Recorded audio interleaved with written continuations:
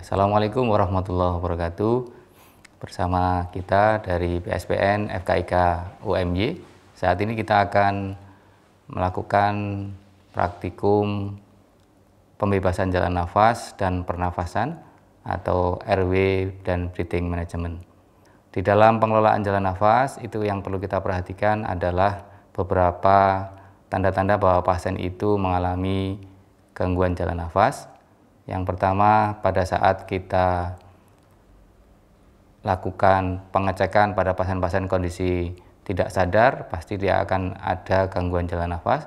Kemudian pada kondisi henti jantung itu otomatis pasien itu mengalami gangguan jalan nafas dan pernafasan. Nah, apabila pada pasien yang masih bernafas, maka ada beberapa tanda yang perlu kita perhatikan, yaitu pada saat kondisi pasien ada nafasnya, di situ ada suara nafas seperti berkumur atau gargling, itu berarti ada sumbatan jalan nafas berupa cairan. Kemudian apabila pasien mendengkur atau snoring, itu berarti ada penurunan otot lidah yang menutupi bagian hipofaring atau laring sehingga terdengar suara snoring. Kemudian ada tanda lagi ketika pasien mengalami odem laring atau pembengkakan laring sehingga ketika suara nafas per, e, keluar itu ada suara e, stridor atau mendesis. Itu bagian yang harus kita perhatikan dalam kondisi pasien-pasien mengalami gangguan jalan nafas.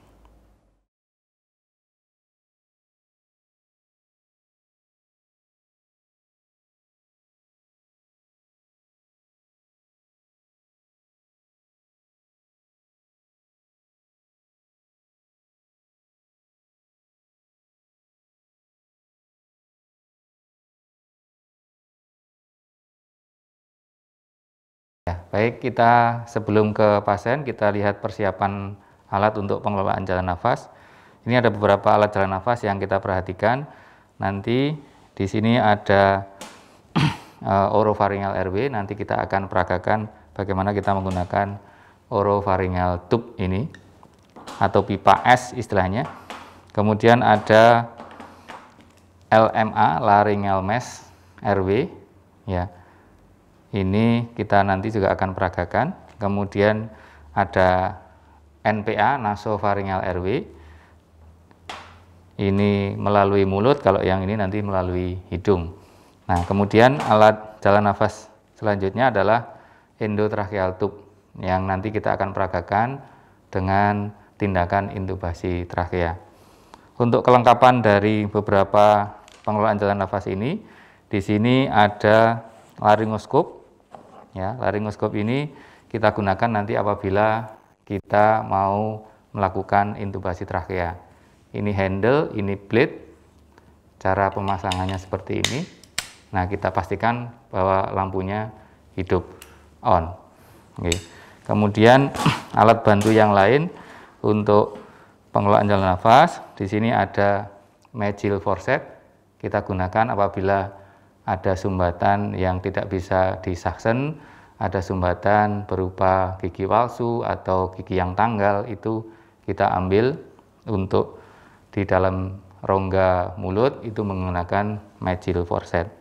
Kemudian ada alat bantu introducer atau mandrin atau stilet uh, untuk membuat lebih mudah ketika kita melakukan intubasi yang alat ini masuk di dalam uh, eh, ET.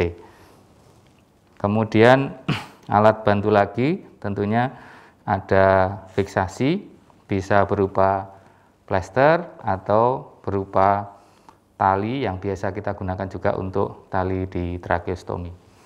Kemudian ada alat bantu breathing berupa airbag atau kita sebut dengan BVM.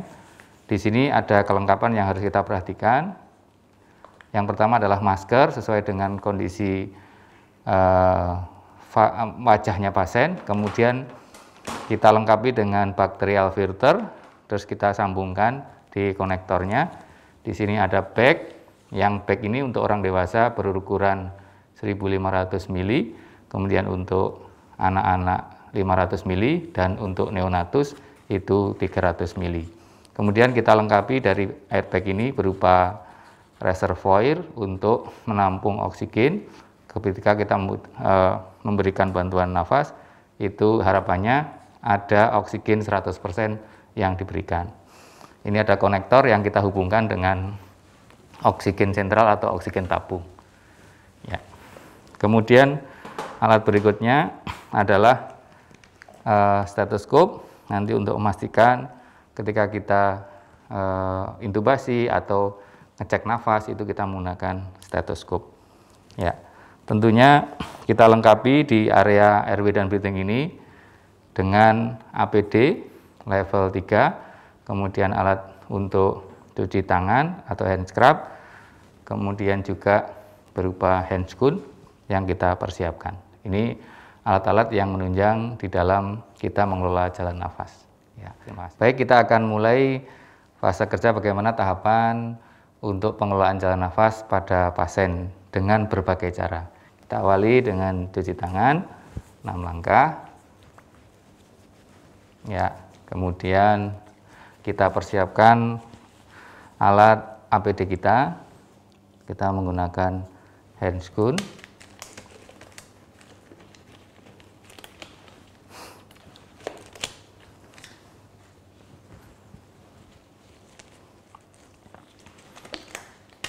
Sudah lengkap dengan masker dengan visit ya kita jangan lupa kita nanti kita siapkan juga masker yang N95 ya, yang kita pakai juga. Setelah kita lengkap dengan APD yang sudah kita pakai kita akan memperagakan bagaimana eh, melakukan pemasangan orofaringal RW sebelumnya nanti kita akan bagaimana pengelolaan jalan nafas yang manual. Ya.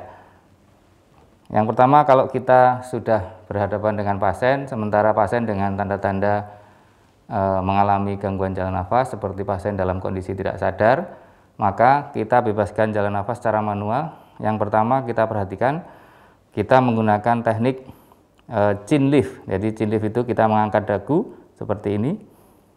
Ya, chin lift ya.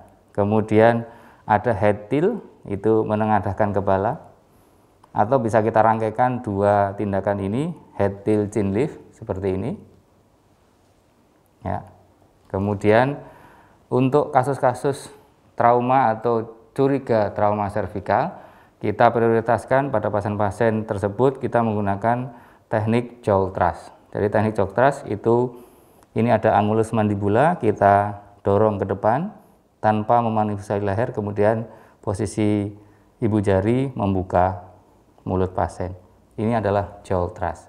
Jadi saya ulang, ada head tilt, kemudian ada chin lift, kemudian ada jaw thrust. Ya. Head tilt, chin lift dan jaw thrust. Oke. Kemudian kita akan memperagakan bagaimana cara memasang oropharyngeal tube atau oropharyngeal RW. Yang pertama kita lakukan pengukuran dari uh, oropharyngeal tube ini kita harus sesuaikan dengan pasien. Yang pertama cara mengukurnya dari cuping telinga sampai ke sudut mulut. Jadi cara mengukurnya seperti ini. Ya, kita pastikan jangan sampai kelebihan. Ini contoh yang kelebihan atau yang kurang. Nah, ini cara mengukurnya yang kita perhatikan. Jadi kita sesuaikan. Nah, sekarang cara pasangnya kita bantu dengan kita membuka mulut pasien dengan tadi cara kita yang ada di thrust tadi. Kemudian kita sambil mengukur langsung memasukkan posisi pipa orofangial secara terbalik ya ke arah palatum mole masuk 2 per 3 kemudian kita putar 180 derajat kemudian kita dorong Ya, saya simulasikan secara sederhana. Yang pertama adalah kita bantu posisi tangan membuka, kemudian sambil kita ukur orofaringal RW, kita masukkan secara kebalik, kemudian kita putar 180 derajat. Ya. Oke, ini teknik bagaimana memasang orofaringal RW. Nah, ketika pasien ini sudah ada respon telan, kemudian pasien ingin memuntahkan, maka cara melepas dari orofaringal airway tanpa harus diputar, tetapi kita kembalikan atau kita keluarkan sesuai dengan anatomisnya dari pipa S ini.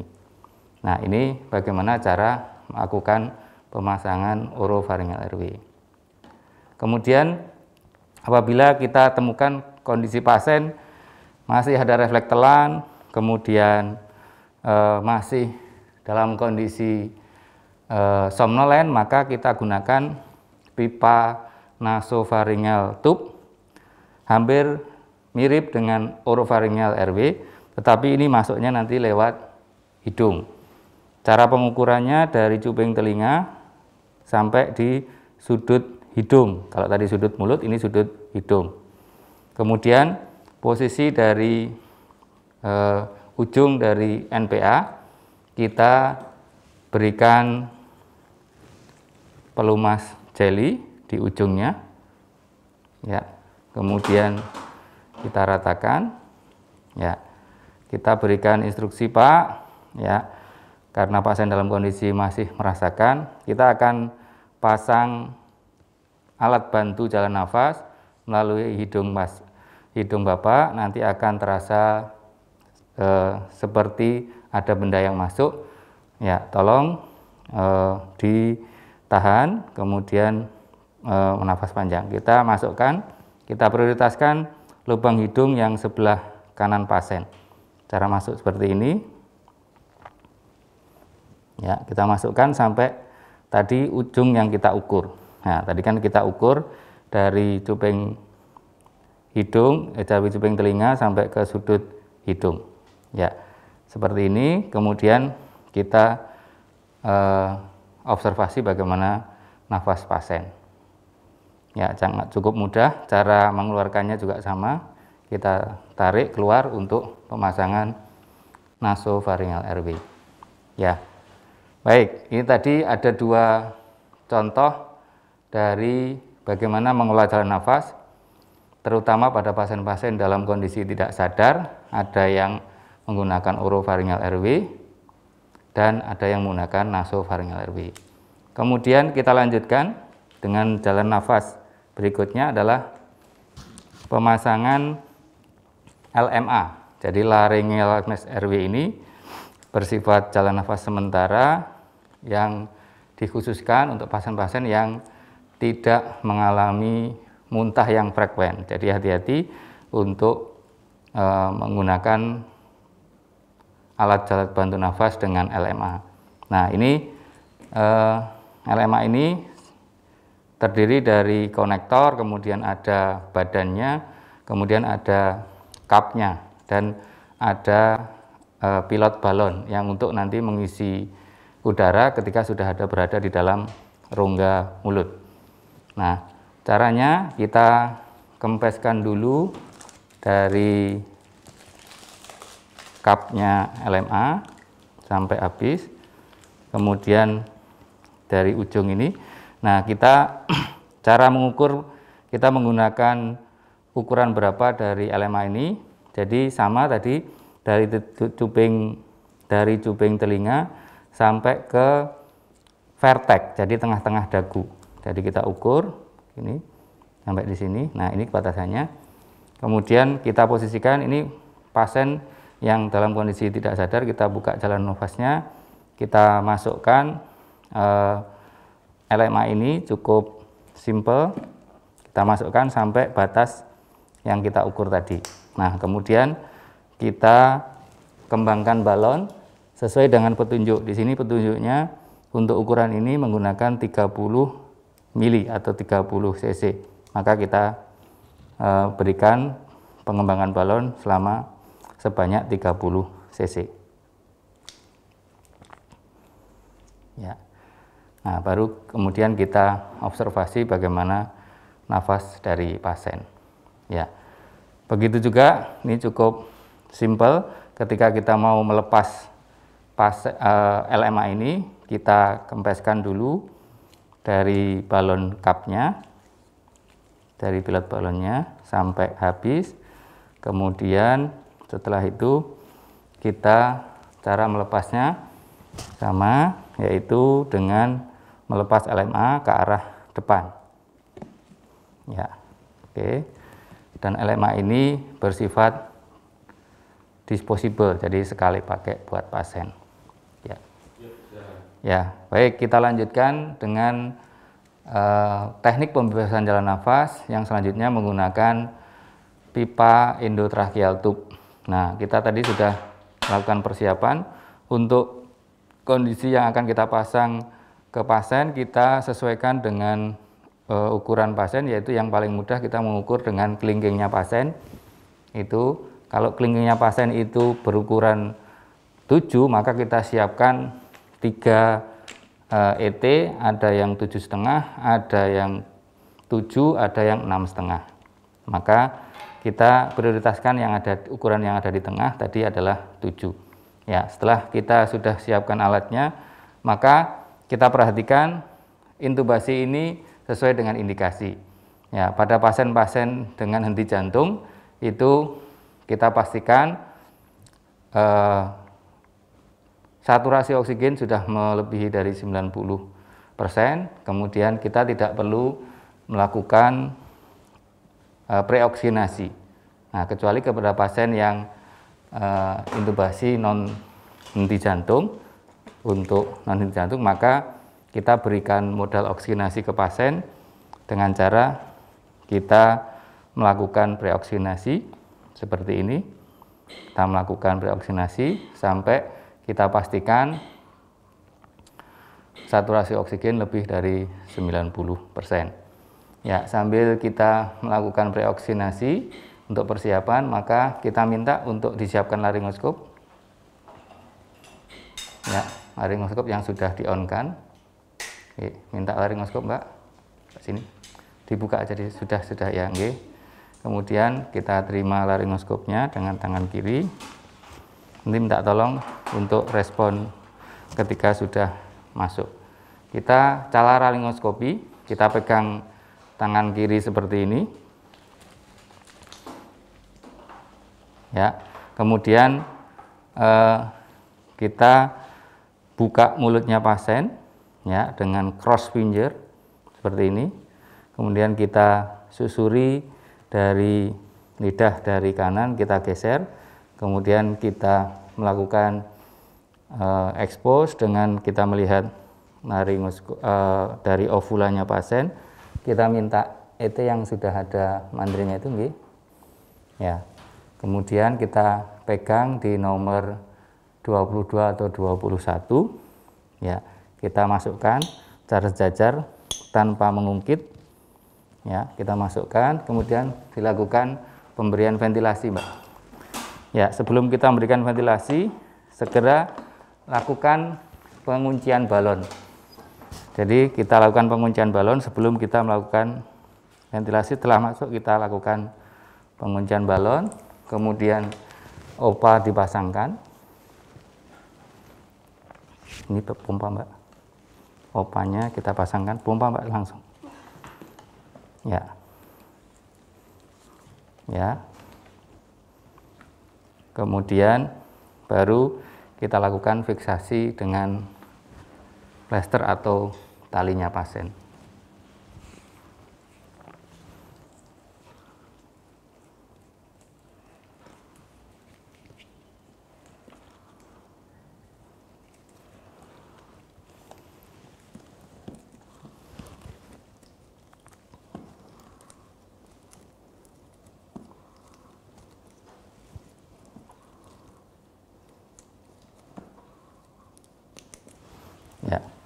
Nah, sekarang kita perhatikan bagaimana cara memberikan ventilasinya pasien.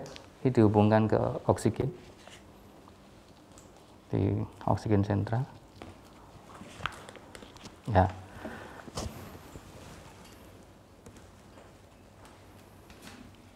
Pasangin, Mbak. Kak bisa. Ya, kita perhatikan ketika kita memberikan uh, ventilasi pasien seperti ini penggunaan bag itu kita perhatikan ya sesuai dengan tidal volumenya pasien dan frekuensinya 10 sampai 12 kali per menit atau 5 sampai 6 detik sekali. cara menghitung lebih efektif yaitu sekali kita inflasi balon, kemudian kita hitung untuk 5 detik kemudian dengan cara 1000, 2000, 3000, 4000, 5000 pencet. 1000, 2000, 3000, 4000, 5000 flash. Dan selanjutnya kita akan evaluasi setiap 2 menit dalam rescue breathing ini. Baik, terima kasih. Ini adalah tindakan untuk intubasi trachea. Ya, baik, kita lanjutkan dengan pembebasan jalan nafas. Kita akan melakukan bagaimana cara intubasi trachea. Pemasangan pipa trachea ke dalam dari mulut melalui uh, melalui mulut ke lubang trachea. Ini ada dua uh, dua kondisi. Contoh kita kapan preoksinasi, kapan tidak. Yang pertama untuk pasien-pasien yang henti jantung, kita tidak perlu lagi menggunakan preoksinasi, tapi kita pastikan kalau pasien-pasien yang kondisi tidak henti jantung, kita lakukan preoksinasi dengan kita memperhatikan saturasi oksigennya pasien lebih dari 90 ya sampai kita tunggu sampai oksinasi ini preoksinasinya atau saturasi oksigennya itu mencapai di 90. Kalau sudah siap, maka kita meminta laryngoskop. Ya, minta laryngoskop. Kita pegang tangan kiri seperti ini. Ya. Kemudian kita lepas orofaringal yang sudah ada di pasien. Kita buka mulut dengan cara cross finger kita masukkan dari sisi kanan kita expose kita dengan cara kuda-kuda jongkok tidak boleh menunduk tetapi kita jongkok kita melihat setelah kita lihat kita minta ET kita pegang ET ini di nomor 21 atau nomor 22 kita masukkan dari arah kanan. Kemudian kita segera melakukan penguncian balon. Ya penguncian balon cupnya kemudian setelah penguncian balon itu kita pasang kembali orofaringal airway-nya kita minta untuk melakukan backing dan kita dengarkan posisi dari pasien. Cara mendengarkannya yang pertama adalah kita pastikan di bagian epigastrik apakah ET yang kita pasang itu masuk ke lambung atau ke paru, ini negatif. Kemudian kita dengarkan di lateral kanan, kemudian di darah apek, sebelah kanan. Apek kiri kita pastikan antara apek kiri sama apek kanan sama lateral kiri ini adalah suara parunya atau suara hembusan dari nafas dari alat backingnya itu sama. Saya ulangi, ini ada di posisi epigastrium, kemudian di lateral kanan, di apek kanan, apek kiri, dan lateral kiri. Oke, setelah kita pastikan maksudnya sama, kemudian kita lakukan fiksasi daripada ET. Ya, cara fiksasi ET-nya kita tali, kita menggunakan tali ET ini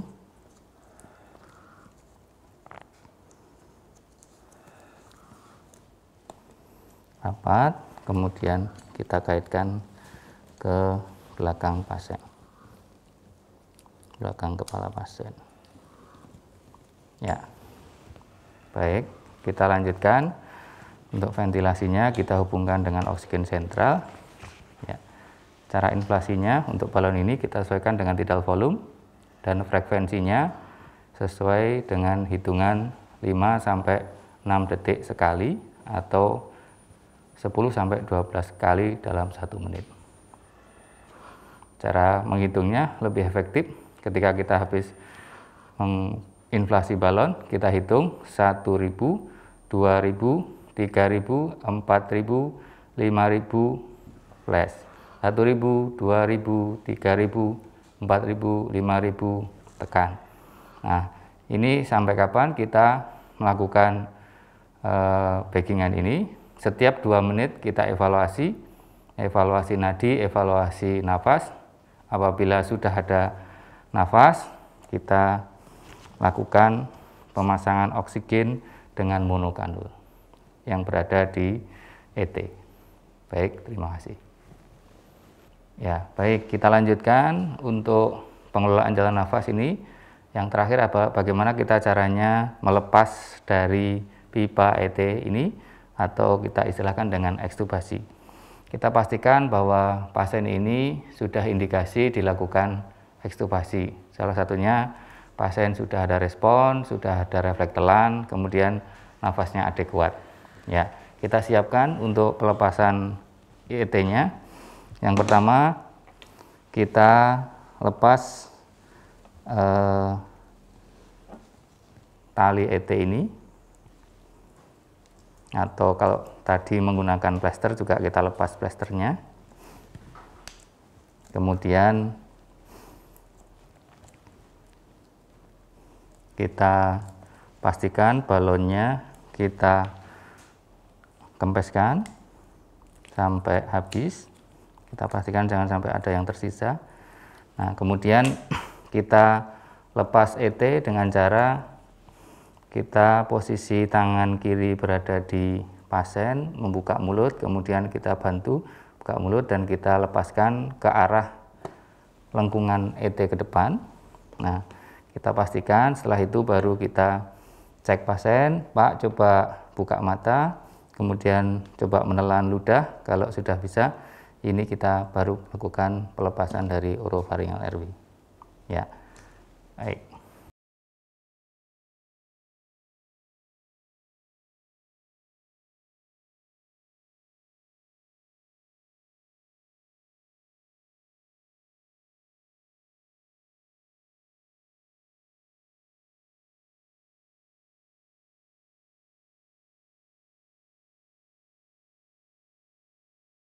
Baik, kita sudah selesai di dalam praktik eh, bagaimana mengelola jalan nafas.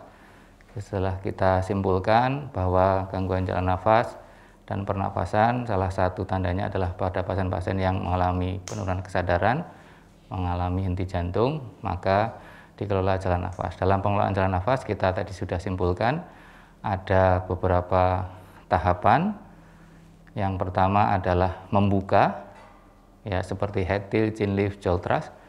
Kemudian membersihkan yang apabila ada gargling nanti kita bisa dibersihkan dengan finger swab atau dengan suctioning, kemudian dengan mempertahankan. Nah, mempertahankan tadi kita sudah mencoba beberapa alat cara mempertahankan menggunakan orofaringal RW, menggunakan nasofaringal RW, menggunakan LMA maupun menggunakan endotracheal tube yang telah kita peragakan bersama. Ya, demikian yang bisa kita sampaikan dalam uh, praktikum pengelolaan jalan nafas dan pernafasan. Semoga bermanfaat. Assalamualaikum warahmatullahi wabarakatuh.